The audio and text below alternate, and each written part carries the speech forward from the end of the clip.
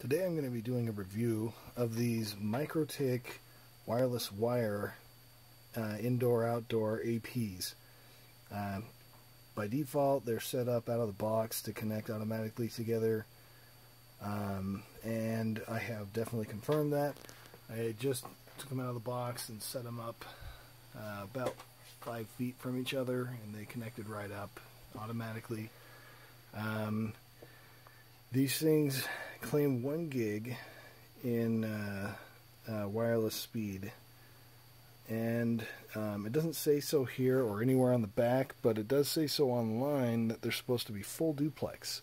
So we'll be testing that as well. Um, so what I have here is I have four PCs. Right now you only see the two. Um, that um, I'll be doing the uh, file transfer between. So both the PCs you see here are on uh, this side of the link. The other PCs that are being transferred to are over there. Um, I have an uplink right here over to those PCs that goes into this switch.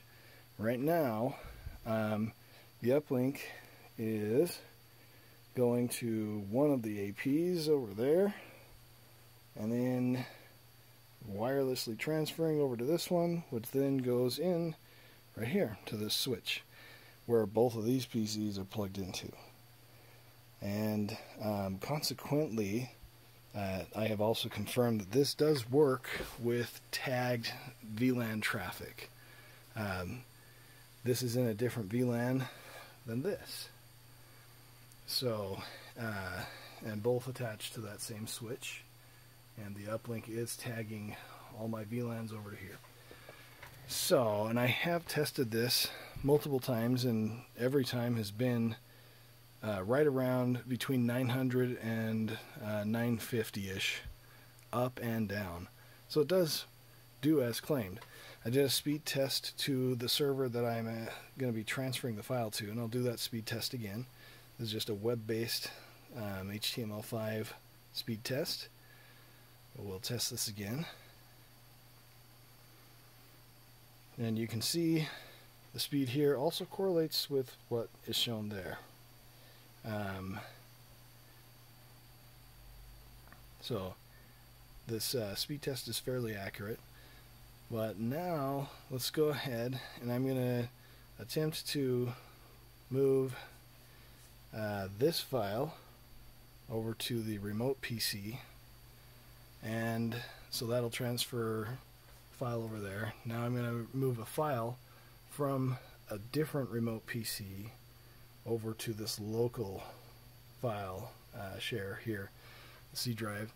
Um, all four of these PCs are running solid state hard drives on them, so uh, we won't be bottlenecked by that.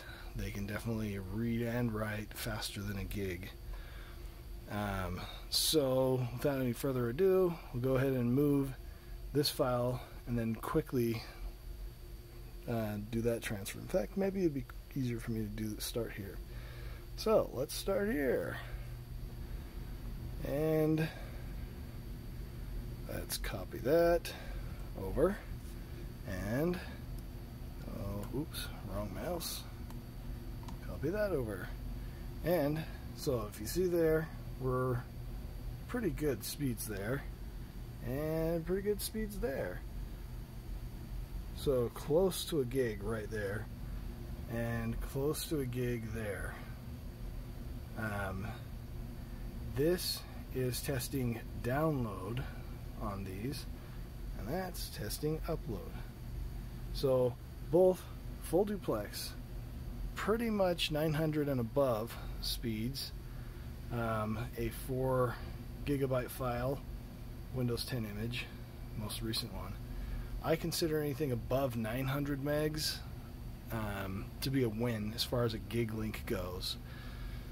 So both of those transferred through my um, wireless link here uh, in both directions through my uplink. Anyway, so I feel like that was a successful test of these. Uh, I will be changing the default um, the default IP on these APs to so that I can manage them on my network. Um, my brother lives just kitty corner from me, and I bought these so that I could uh, connect our networks together. Previously, I had these um, Ubiquiti APs, and they did great. Uh, I got between 200 and 300 megs up and down, not simultaneously though. Uh, these are just conventional wireless. Of course, these work over the 60 megahertz uh, or gigahertz, sorry, and uh, so that's why we get higher speeds. But these pretty much require line of sight. It does say on the back of the box that you can do it through Windows, but it is probably going to degrade it a little bit. So we'll be doing some line of sight. Now, um, once I get these up between my brothers and my house, um, I will be doing another similar speed test on there. I probably won't be doing simultaneous. Uh, he doesn't have, well, I guess I could. I suppose I will then. Anyway, um, decision made. Right there, live. Not so much live to you, but live to me. So anyway, um, these APs are great. Um, I got these on eBay for $160. Uh, you can find them elsewhere. I, I saw them as low as 140 used on Amazon. I did not move quickly enough to get those, so I got these on eBay. But brand new, I believe they're 180.